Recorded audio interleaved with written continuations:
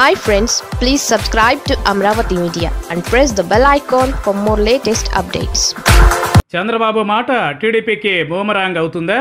ఎన్నికలు పూర్తయి ఏడాది అయిన తరువాత దీనికి ముందు టీడీపీ పరిస్థితిని గమనిస్తే ఆ పార్టీ ఎదుర్కొంటున్న తీవ్ర సంకట స్థితి అందరికీ అర్థమవుతోంది. ఎన్నికలకు ముందు తిరిగి లేదని మళ్ళీ మేమేనని బేరాలు పలికిన పార్టీ నేతలు ఇప్పుడు చేతులు ముడుచుకున్నారు.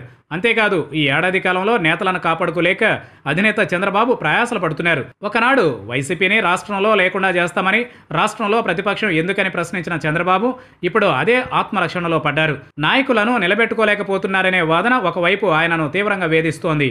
అదే సమయంలో గత ప్రభుత్వం తాలూకు తప్పులను ఎత్తి చూపుతూ జగన్ ప్రభుత్వం వేస్తున్న అడుగులు మరింతగా ఆయనను ఇబ్బందికి గురి చేస్తున్నాయి.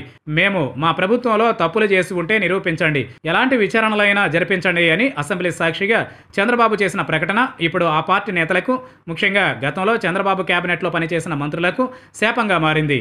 నిజానికి ప్రభుత్వంలో ఉన్నవారు ఏం చేసినా చెల్లుతుందనే ధోరణిలో చంద్రబాబు కేబినెట్ వ్యవహరించిందనేది ఆ పార్టీ నేతలు చెప్పే వాస్తవం. అయితే అప్పటి నుంచి ఇప్పటి వరకు కూడా ఎవరూ ఏమీ మాట్లాడలేదు. కానీ జగన్ సర్కార్ను నిలదీస్తున్నామనే ధోరణిలో అసెంబ్లీలో చంద్రబాబు ప్రస్తుతం అరెస్టైన అచ్చెన్నాయుడులు ఇద్దరు కూడా జగన్ ప్రభుత్వాన్ని నిలదీశారు రెచ్చగొట్టారు. అయితే ఎంత రెచ్చగొట్టినా రాజకీయాలు వేరు వాస్తవాలు వేరు.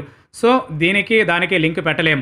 మరోపక్క చంద్రబాబు హయాంలో నిర్వహించిన అనేక కార్యక్రమాలకు ఆయనకు చెందిన హెరిటేజ్ కంపెనీ నుంచే నెయ్యి పాలు నీళ్ళు వంటివి ఇచ్చి ప్రభుత్వ సొమ్మును గుంజేశారనే ఆరోపణలపై కూడా జగన్ ప్రభుత్వం ఏకంగా సిబిఐకి ఆదేశాలు ఇచ్చింది.